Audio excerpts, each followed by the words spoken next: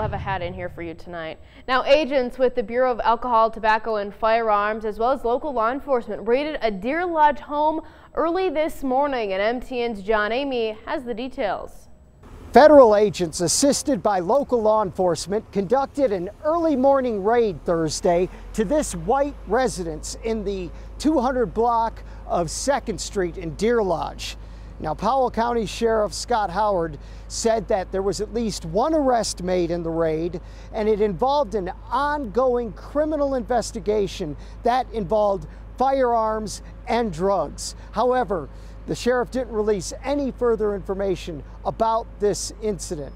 We want to keep the integrity of the investigation. It's been a long, uh, ongoing investigation and is continuing to go on now.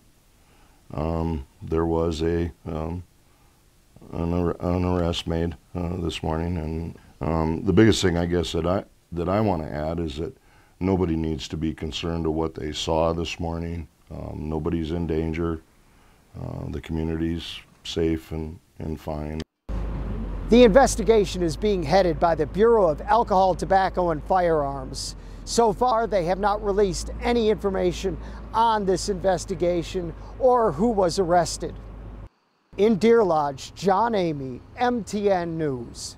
Now, MTN News spoke with the ATF out of its Denver office today about the raid and were told information would be released later this evening. We received no updates from federal investigators.